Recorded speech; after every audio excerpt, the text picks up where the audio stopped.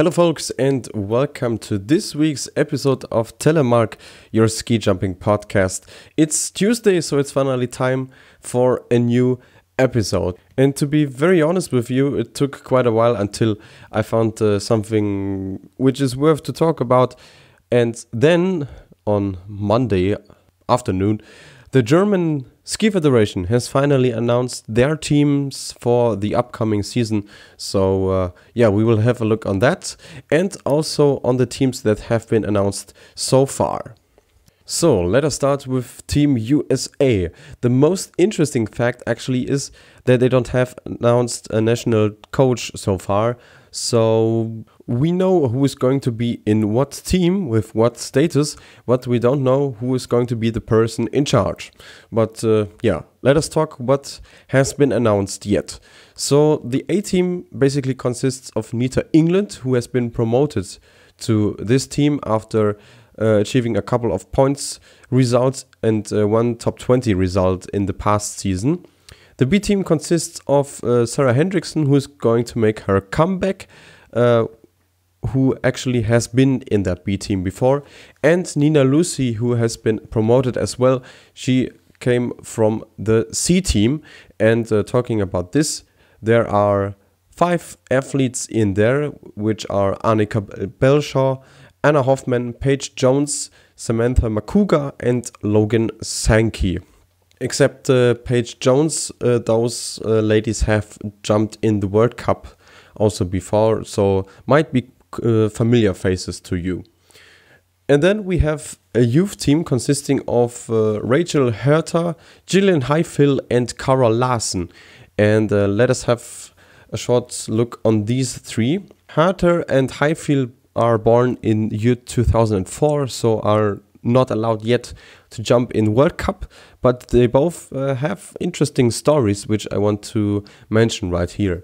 So Rachel has a personal best distance of 86 and a half meters, jumped in Whistler in March 2019, which was her only start in an FIS competition. Um, she started jumping in the age of 11, so it's not that experienced yet, but therefore she made quite an impressive way. And uh, the most interesting thing about her is that uh, she has a brother who has the Down syndrome. And she mentions that he actually was her role model in terms of showing always your best and try to reach all of your dreams and your potential, no matter if you're a healthy person, if you have a disease or weakness or whatever, which is a very, very impressive thing uh, in my eyes. Then we have Gillian Highfield, with a personal best distance of 88 meters, which she jumped uh, in the last year's uh, national championships in Park City on the large hill as well. She even has three FIS starts. Uh, she became 14th in the Carpath Cup in Râșnov in the summer 2018, and the next two days she jumped on rank 21 and 26 in the FIS Cup in Râșnov as well on the normal hill. Um, she basically was inspired by the Ready to Fly movie, which probably some of you might have seen, uh, starring Lindsey Van and the Pioneer Women's Ski Jumping team. And actually, Barb Jerome, the mother of Jessica Jerome, who was a former ski jumper as well, uh, was uh, one of her third grade teachers and encouraged her to start jumping. So she actually started a bit earlier than uh, Rachel, but uh, still has the same, uh, yeah, if you want to call it issue that uh, her young age doesn't allow her to jump in the World Cup yet. And last but not least, we have Cara Larson, probably a surname uh, you all heard about. She's actually the younger sister of uh, American ski jumper Casey Larson, born in 2000. So she's the only one of these three who would be allowed to jump in the World Cup. Um, her personal best distance are 102 meters dates from uh, February 2016 in Westby on the Snowflake Hill. What a beautiful name for a ski jumping hill, actually. Um, she took part in three Junior World Ski Championships in 2016, 2017, and 2018, but never managed to reach top 30. But at least in her eight FIS Cup starts, she achieved four top 10 results, uh, basically all from North America. So that's a wrap for the US team. let us go to Poland. Uh, they also have announced their teams actually a national team and a youth team and a new coaching staff. So maybe let us start with that because the names in there are very familiar. Uh, Łukasz Kruczek is the new head coach for the ladies, and he will be assisted by Marcin Bachleda, also a former ski jumper, as you probably all know, and Wojciech Tajner is also an assistant. And they coach basically the national team consisting of Kamila Karpiel, Kinga Rajda, and Anna Twardosz, who all have been there before and have been added with Nicole Konderla and Joanna Szwab. Uh, probably Joanna Szwab is a much more known name than Nicole Konderla because uh, she basically is the oldest team member in Poland and she was born in 1997, so she's already 22 years of age. Jumped her personal best distance in Brotterode, Germany in February at the Continental Cup with 97 and a half meters. Jumping international already since 2011 and already had five World Cup starts in the season 2013 2014, but never managed to score any World Cup points. So, this is basically a comeback in a national team that not too many people predicted before, I guess.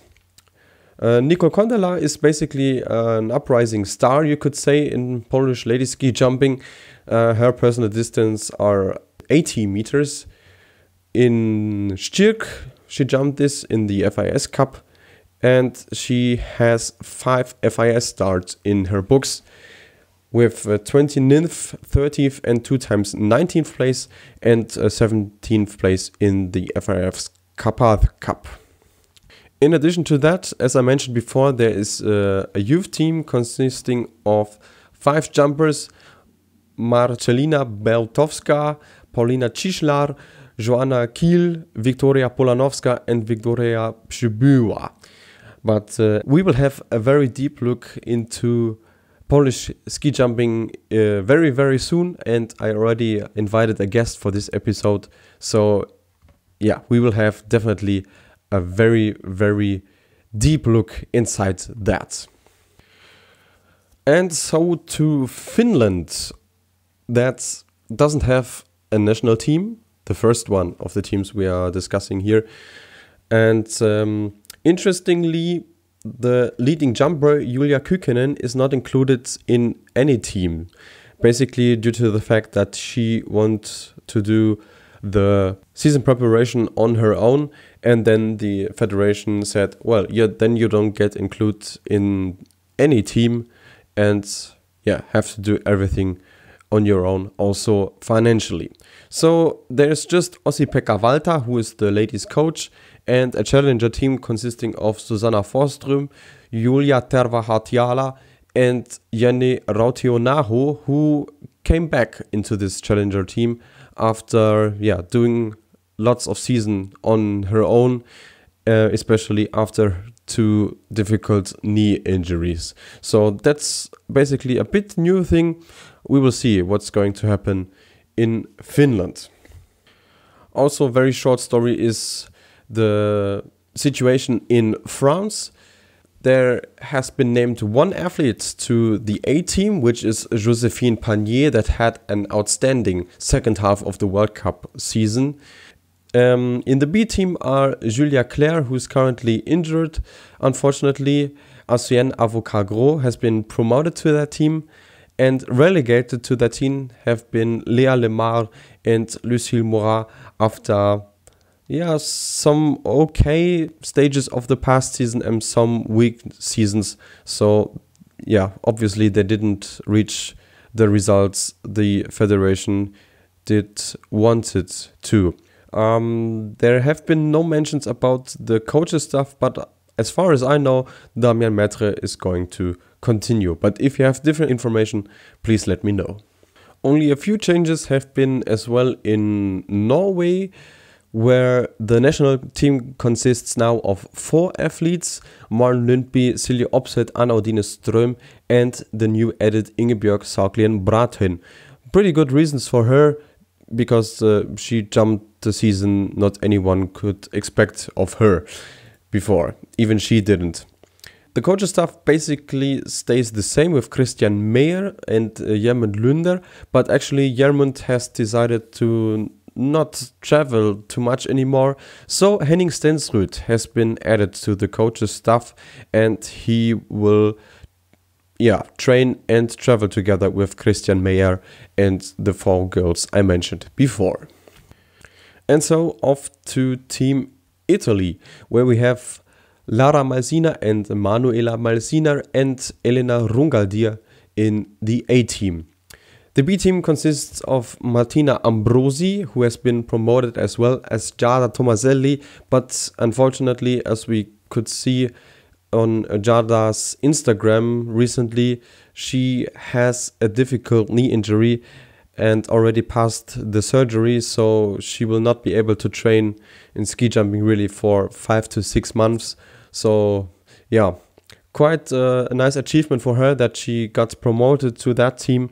But uh, yeah, she will have to wait until she can finally use this and show hopefully her full potential, uh, which she definitely has. And on the C team, we have uh, Jessica Malsiner, the youngest of the Malsiner sisters. Head coach will stay Janko Zwitter, but they are currently searching for a new assistant coach due to the fact that uh, Romed Moroder has left the team. And last but not least, we are going to Germany, the latest of the nations that have announced any teams so far, and this is quite a long list, we have to say. Uh, no changes actually in the coaching staff. Andreas Bauer will stay head coach, assisted by Christian Bruder. Only the composition of those teams is a little different to uh, any other nations because you could not really say there's a A squad, there's a B squad, etc. There are training groups. In German, it's called Lehrgangsgruppen. Uh, yeah, an amazing German term, I have to say. and uh, so we will just walk through that. Uh, the yeah national team that doesn't really exist uh, consists of Katharina Althaus, Anna Rupprecht, Juliane Seyfarth, Ramona Straub, Carina Vogt, and the recently added Svenja Würth, who has had a great comeback after her injuries, which hopefully Ramona Straub will do as well. As we heard in the last uh, episode, uh, yeah, she was one of the torn ACL victims. Then the next group uh, consists of four athletes. There we have Janina Ernst, who has been in the first group before. Luisa Görlich, also coming back after injury, Pauline Hessler, and Agnes Reisch. The third group includes uh, Maria Gerboth, who is also not a Nordic combined athlete, as well as Anna Jekle, Sophia Maurus, and Jenny Nowak. And additionally, there are Selina Freitag and Alina Ile, plus Arantxa Lancho and Josephine Lauer. All four of them have been jumping in the German national group in the Summer Grand Prix and also in the World Cup in the past season. And the final group is actually the biggest one with lots of changes 13 athletes, and seven of them are new. Let us start with those. Uh, those are Lia Böhme, Magdalena Burger, Joanna Eble, Anna Heckel, Clara Lebelt, Ronja Loh, and special case Henriette Kraus, which uh, might ring a bell to some of you. She actually stated to finish her career, must have been, yeah, pretty much two years ago after several problems with her knee. But then she had a special therapy and now got the chance to get in sort of challenger team, as they would call it in Finland to try to make a comeback. It will be really interesting to see if she can make it make it back once again because her potential was there undoubtedly. And yeah, that's a bit of a side story in there. And the other athletes are Michelle Goebel, Emilia Görlich, Trine Göpfert, Cindy Harsch, Emily Schneider, and Amelie Tannheimer.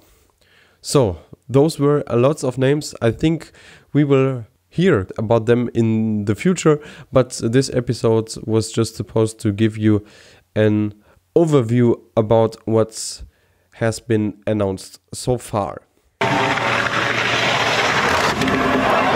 So that's a wrap for this week's episode of Telemark. As I mentioned before, there's not too much action at the moment, and I really hope uh, we will find some interesting topics for the upcoming episodes as well. But if there are any new teams announced, and sooner or later they have to announce the teams, believe me or not, uh, we will have a look on that too. Um, spoiler alert, once again, as I said, there's going to be an episode about Polish ski jumping very, very soon. And I'm also in talks with an athlete in order to talk about her life as a ski jumper, her life as a regular person, because that's what ski jumping athletes are as well. And yeah, this is also going to come hopefully very, very soon. I will keep you updated on this. Speaking of updated, don't miss out to subscribe to the YouTube channel, to your podcast feed, and as well as liking and sharing the Facebook page because you're not going to miss any news on there. So that's it for this time. Thank you again for listening and sharing, and I hope to hear and see you guys very, very soon. Bye bye.